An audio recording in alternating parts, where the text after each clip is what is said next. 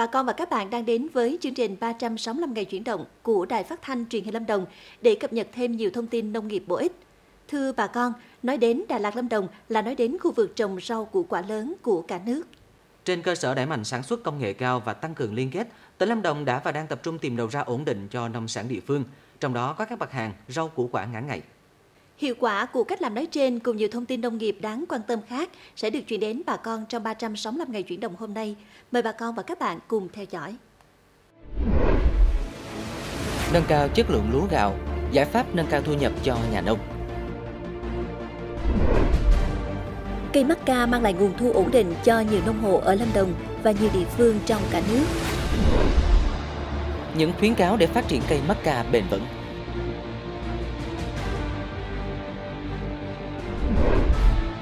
Nâng cao chất lượng nguồn giống và chuyển đổi cơ cấu sản xuất.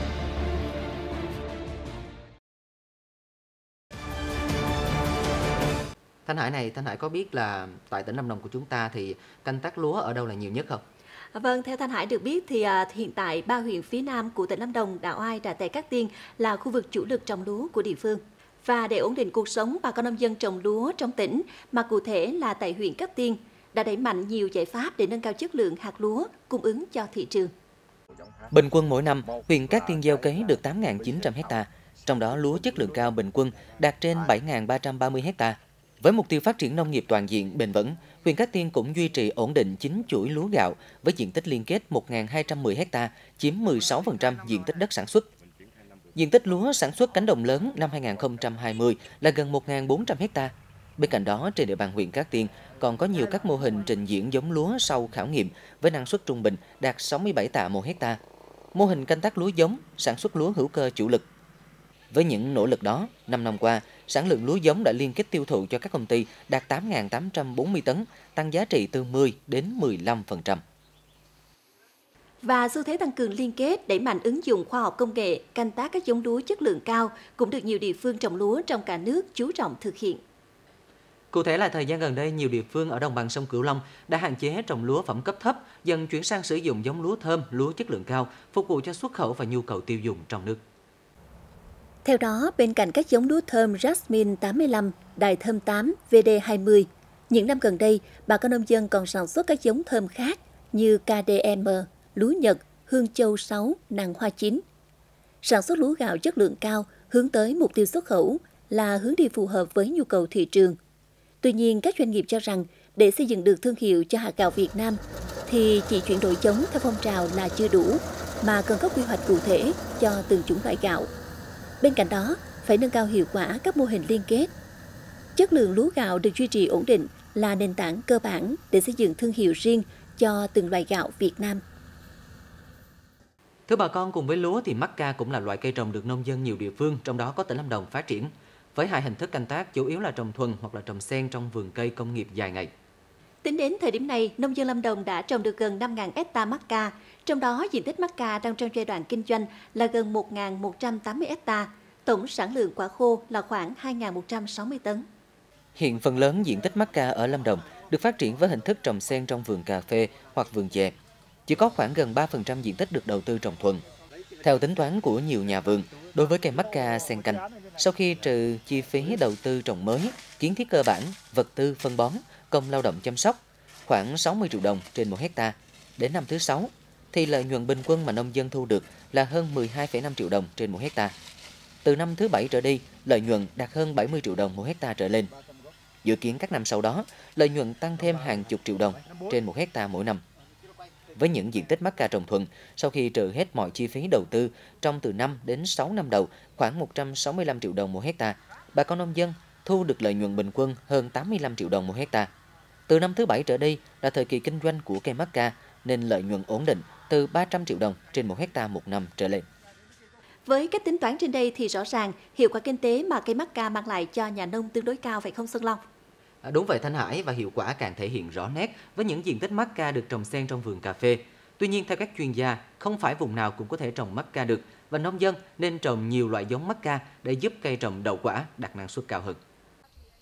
Mắc ca hiện là một trong những loại cây trồng được nhiều địa phương trong cả nước phát triển. Sau 5 năm triển khai quy hoạch mắc ca, Đến nay, cả nước đã có 23 tỉnh trồng cây mắc ca với diện tích trên 16.500 hectare trong đó, 9 tỉnh nằm trong quy hoạch ở Tây Bắc và Tây Nguyên trồng trên 15.400 hecta, tăng 55% diện tích so với quy hoạch. Còn lại hơn 1.000 hecta nằm rải rác tại 14 tỉnh khác chưa có trong quy hoạch. Về sản lượng năm 2020, các tỉnh dự kiến thu hoạch gần 6.600 tấn hạt tươi, tăng 24,5 lần so với năm 2015. Với giá bán sản phẩm dạng hạt sấy khoảng 200 triệu đồng một tấn như hiện nay, ước tính hơn 4.000 tấn hạt sấy sẽ mang lại giá trị khoảng 788 tỷ đồng. Đến nay, sản phẩm mắc ca đã xuất khẩu với sản lượng trên 2.400 tấn sản phẩm sấy mỗi năm. Tiềm năng của mắc ca là rất lớn, nhưng loại cây trồng này rất nhạy cảm với điều kiện khí hậu, nên không phải khu vực nào cũng trồng được mắc ca. Tại Việt Nam, cây mắc ca phát triển ở nhiệt độ khoảng từ 20 đến 22 độ C, phù hợp để phát triển ở các vùng Tây Bắc, Tây Nguyên vì nhiệt độ mát mẻ. Còn những vùng khác trồng có thể không ra hoa đậu quả.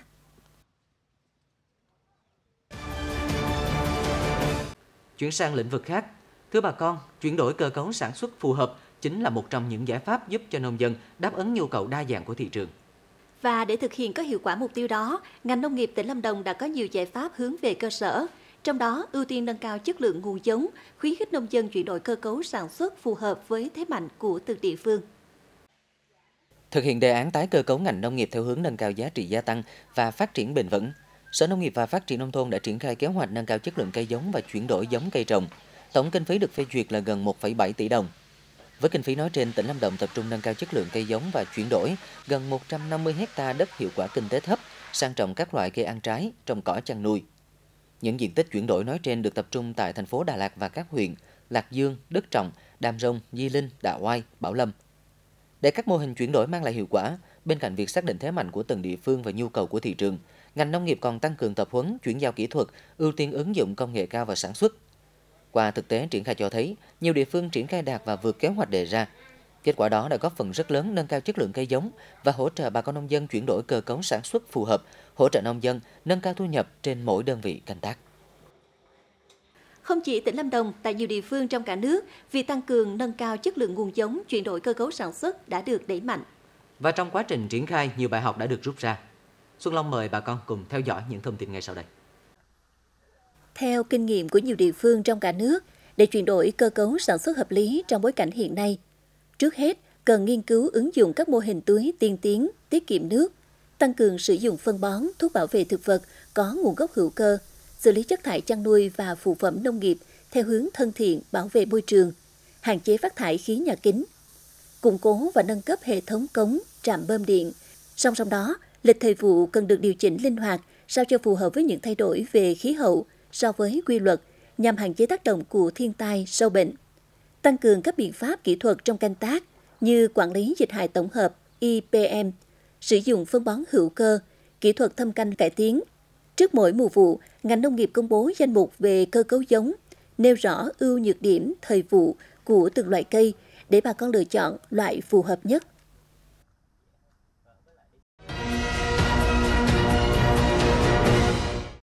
Thanh Hải à, rau củ quả là một trong những nhóm sản phẩm mà tỉnh Lâm Đồng của chúng ta đang đẩy mạnh sản xuất trong thời gian qua đó. Vâng, đúng như vậy.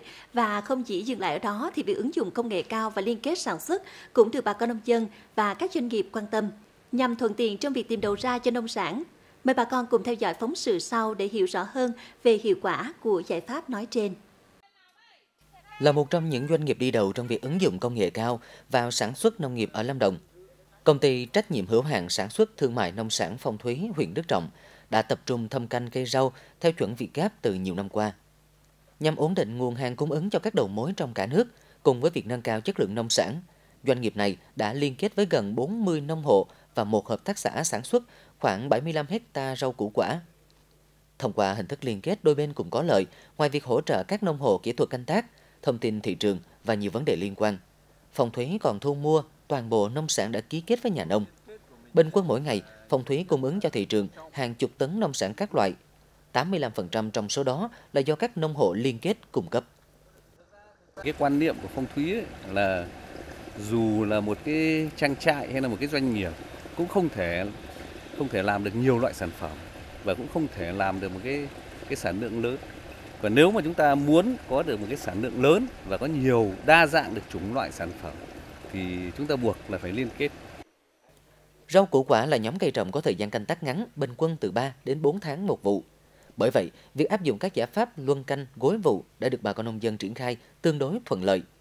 Nhất là với những diện tích rau củ quả được trồng trong nhà kính, giải pháp xen canh đã giúp nông dân nâng cao hiệu quả sản xuất rõ rệt. Bình quân mỗi năm, nông dân Lâm Đồng canh tác trên 68.000 hecta rau củ quả các loại, sản lượng 2,48 triệu tấn. Năng suất nói trên tiếp tục tăng cao qua các năm nhờ nông dân áp dụng các quy trình canh tác tiên tiến. Với một lượng rau xanh được sản xuất hàng năm lớn như vậy, nâng cao chất lượng gắn với việc đẩy mạnh liên kết để thuận tiện trong việc tìm đầu ra đã được đẩy mạnh. Cũng thông qua liên kết làm ăn, nhiều kỹ thuật canh tác tiên tiến và nhiều loại nông sản mới đã được đưa vào canh tác, phục vụ nhu cầu đa dạng của thị trường. Hiện toàn tỉnh có trên 70 chuỗi liên kết sản xuất rau với sự tham gia của gần 1.800 nông hộ và 26 hợp tác xã. Cái sản xuất theo chuỗi là một là mình sản xuất nó có kế hoạch, có kỹ thuật và cái cái hiệu quả kinh tế nó sẽ cao hơn so với sản xuất thông thường. Với những ưu việt mà liên kết sản xuất rau mang lại, nhiều doanh nghiệp trong tỉnh đang tiếp tục triển khai các giải pháp nhằm tạo sự thuận lợi để nông dân chung tay cùng các doanh nghiệp phát triển nghề trồng rau củ quả ở địa phương hiệu quả, góp phần hạn chế dần tình trạng cung vượt cầu, giá thu mua bấp bênh khiến cho nông sản bị thừa hàng dội chợ. Rõ ràng trong bối cảnh hội nhập hiện nay, liên kết chính là giải pháp để nông dân và các doanh nghiệp nâng cao hiệu quả sản xuất. Và thông tin nông nghiệp vừa rồi cũng đã khép lại chương trình 365 ngày chuyển động hôm nay. Bà con nông dân và các bạn quan tâm, muốn đóng góp chia sẻ thông tin, vui lòng gửi email về chương trình tại địa chỉ 365 ngày chuyển động ltv a.gmail.com hoặc gọi điện thoại về số 02633 829 930. Còn bây giờ thì Xuân Long và Thanh Hải xin chào tạm biệt. Hẹn gặp lại bà con và các bạn trong các chương trình sau.